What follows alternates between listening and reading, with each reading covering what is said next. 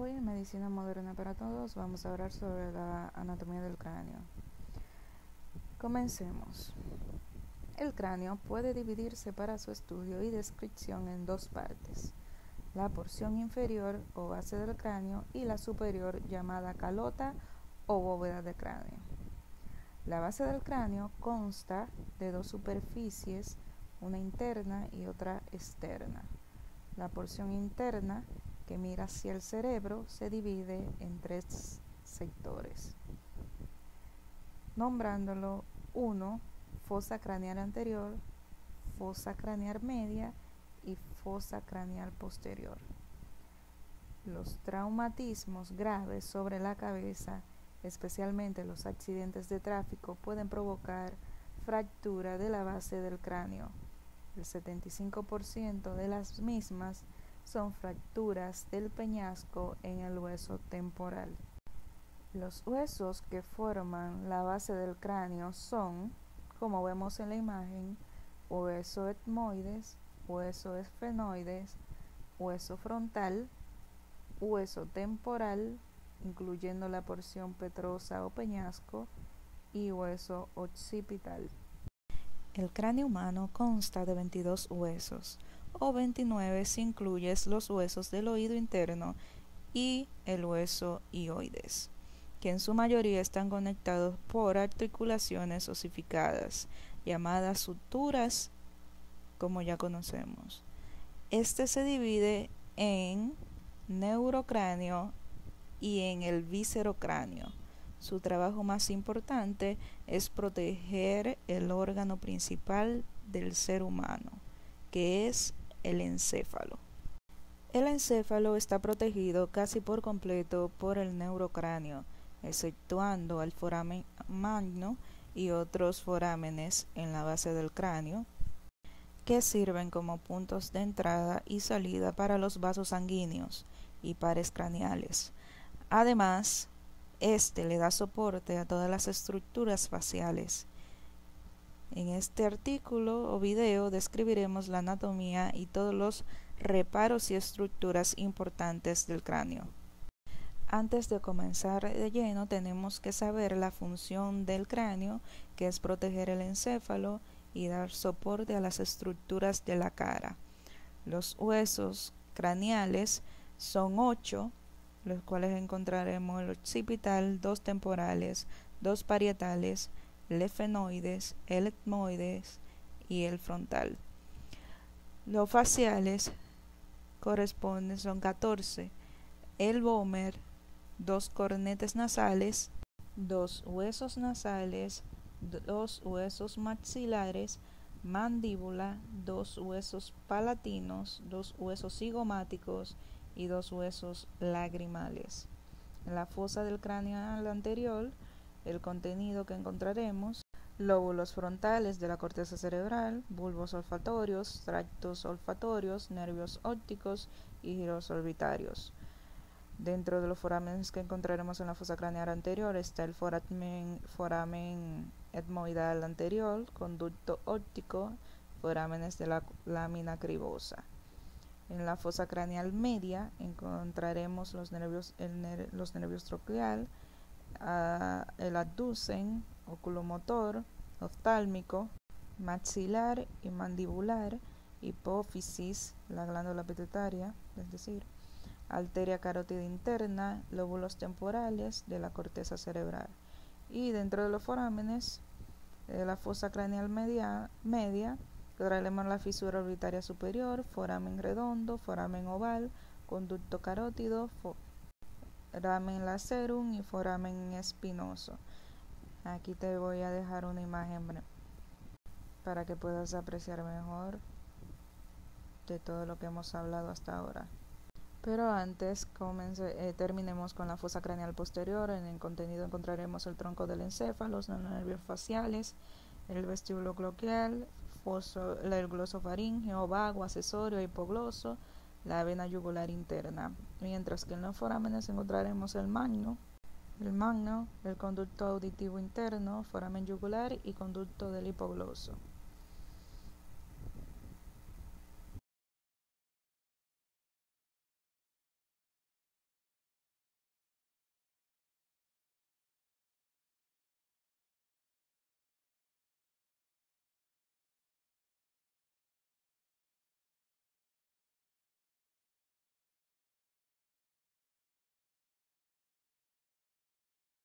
La bóveda craneal se compone de los huesos parietales y partes del frontal y occipital. Las suturas más importantes son, como podemos ver en la imagen, la sutura coronal entre el hueso frontal y el parietal, la sutura sagital divide ambos huesos parietales y la sutura landoidea cursa horizontalmente entre el hueso occipital y ambos parietales. De un total de 33 suturas en el cráneo, estas son las más fundamentales. Entonces, la base del cráneo es la porción inferior del neurocráneo. Viéndola desde el interior, puede subdividirse en las fosas craneales anterior, media y posterior, como la imagen anterior que acabamos de mostrar. La base del cráneo se compone de partes del hueso frontal, etmoides, efenoides, occipital y de los temporales. A todos los huesos anteroinferiores de la cavidad craneal se los conoce como el esqueleto facial.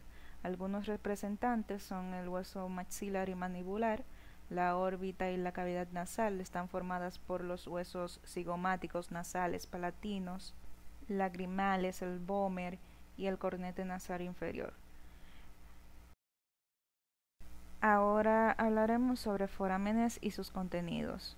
Los forámenes o agujeros, por donde cruzan los nervios y vasos sanguíneos más relevantes, se encuentran en la base del cráneo. A continuación, discutiremos las estructuras más importantes de acuerdo a su ubicación en las tres fosas craneales. El cráneo es un tema complejo de aprender y también uno de los que más frecuentemente aparecen en los exámenes. Te recomiendo, tal cual como dice el artículo, que te pongas esta prueba. Puedes imprimir, si tienes una impresora en tu casa, puedes imprimir unos dibujos solamente ubicando las rayitas para que le pongas el nombre de cada agujero, cada parte del cráneo, cómo se llama, te autoanalices, o sea, hagas un examen o puedes descargarlo en PDF a través de Google y te pongas a prueba sobre todo lo que has aprendido de, del cráneo, sus huesos, todo lo que lo compone, entre otras cosas. Te recomiendo muchísimo que busques cuestionarios y, y que los utilices y los repases cada vez que puedas. Ahora sí pasamos a la fosa craneal anterior, que consta de una lámina perforada en su centro, la famosa lámina cribosa, lo he escuchado mencionar, los forámenes de la lámina cribosa, cerca de 20, sirven como conductos para que los nervios oftálmicos alcancen la mucosa. Alcanzan la mucosa olfatoria en la cavidad nasal. Tanto el nervio óptico como la arteria oftálmica atraviesan el conducto óptico, el cual se encuentra en el centro del hueso efenoides.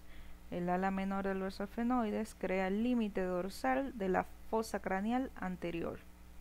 La fosa craneal media se encuentra un poco más profunda que la fosa craneal anterior. La fisura orbitaria superior, delimitada por el ala mayor y menor del hueso efenoides, contiene a los pares craneales trocleal, adducen, oculomotor y oftálmico. La silla turca es una depresión en el hueso efenoides, la cual es el centro de la fosa craneal media forma la fosa pituitaria donde se encuentra la hipófisis o glándula pituitaria. Otros forámenes importantes son el foramen redondo, donde pasa el nervio maxilar, foramen oval, nervio mandibular, y el conducto carotidio que pasa la arteria carótida interna. A continuación te vamos a señalar cada uno de esos agujeros para que sepas la ubicación exacta. En la fosa craneal posterior, el foramen más grande del cráneo es el foramen magno. Es a través de este que sale el tronco del encéfalo y se convierte en médula espinal. El foramen magno se sitúa en el centro de la fosa craneal posterior, se separa de la fosa craneal media por el dorso de la silla del hueso esfenoide y por el borde superior del hueso petroso. otras estructuras importantes son el conducto auditivo interno, que sale el nervio facial y nervio vestíbulo coclear, el foramen yugular, que sale la vena yugular interna, nervio glosofaringio, el nervio vago, el nervio accesorio, y el conducto y el conducto del hipogloso y sale el nervio hipogloso. Por otro lado, aquí está una imagen en donde están los agujeros, los huesos, las divisiones, eh, los agujeros para que te los relaciones y sepas eh, cuáles son las estructuras que pasan por ahí, ya antes mencionadas, y para que sepas la ubicación de cada uno y cuál es cada cual. Puedes tirarle una captura para ir estudiando y ya con lo anterior, con lo antes dicho, puedes repasar. Entre ellos tenemos el agujero espinoso, el canal hipogloso, el agujero magno. Del otro lado eh, tenemos la porción petrosa, el agujero yugular, el hueso parietal. Sí, habrá más.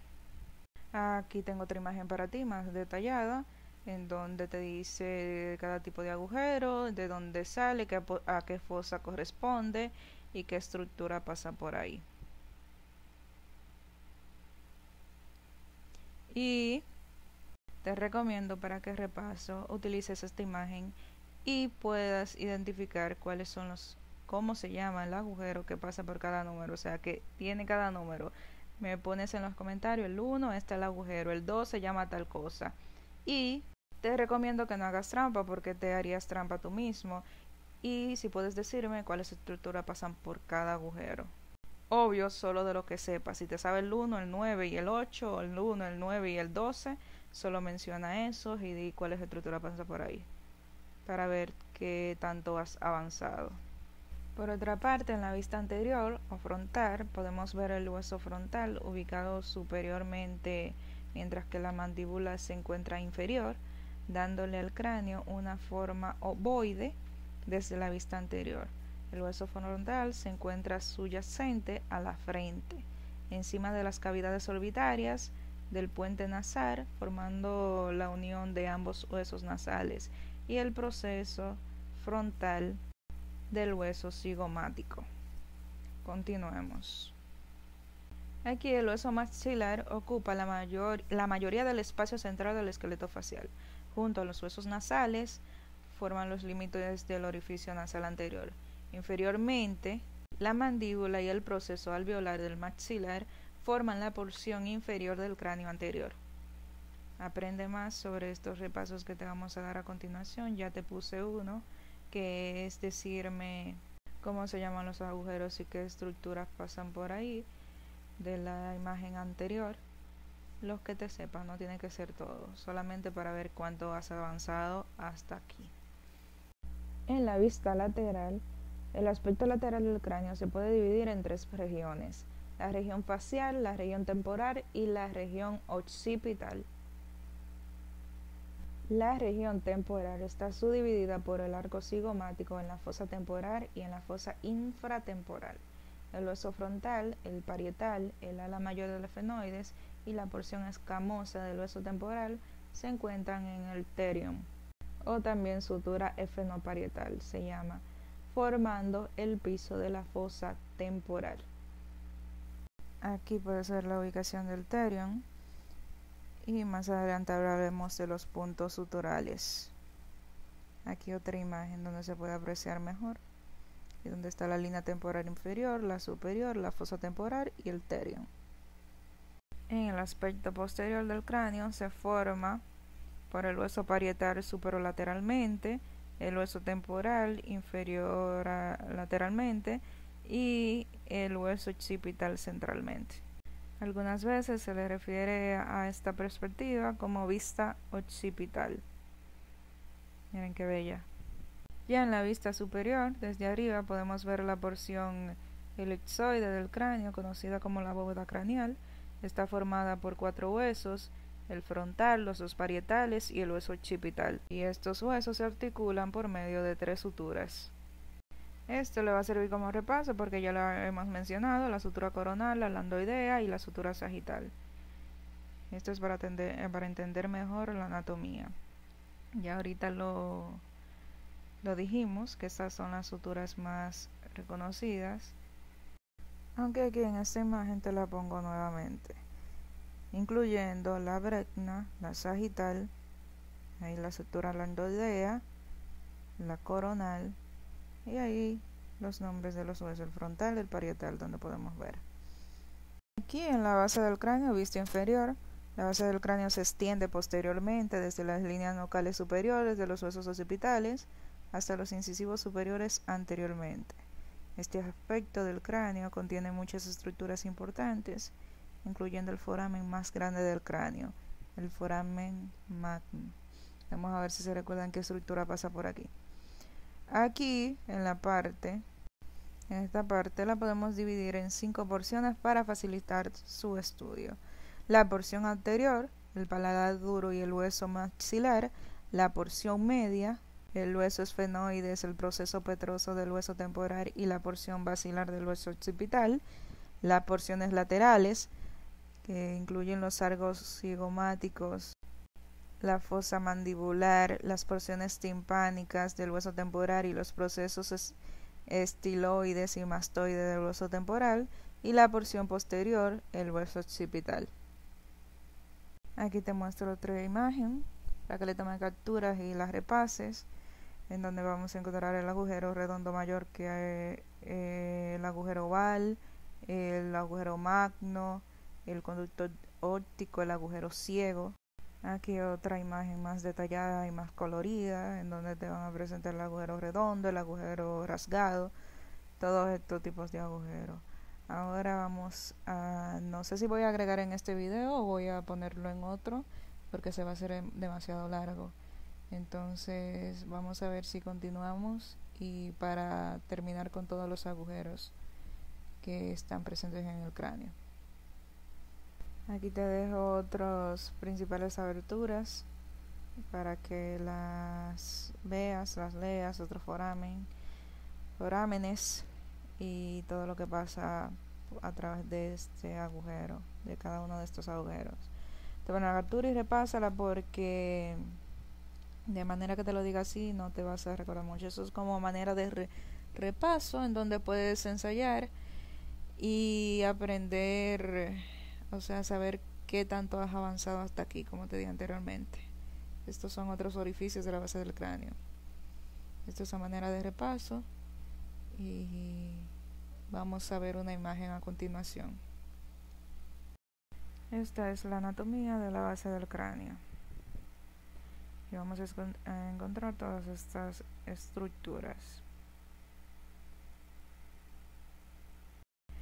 ya la teoría la hemos pasado ahora vamos a la práctica entonces aquí vamos a ver algunas imágenes con su nombre señalándolo cada agujero cómo se llama y qué estructura pasa por ahí como modo de repaso te reto a que quites los nombres de cada una de las imágenes y repases y digas que este agujero se llama este y pasa la estructura tal. Este agujero se llama esto y pasa la estructura tal.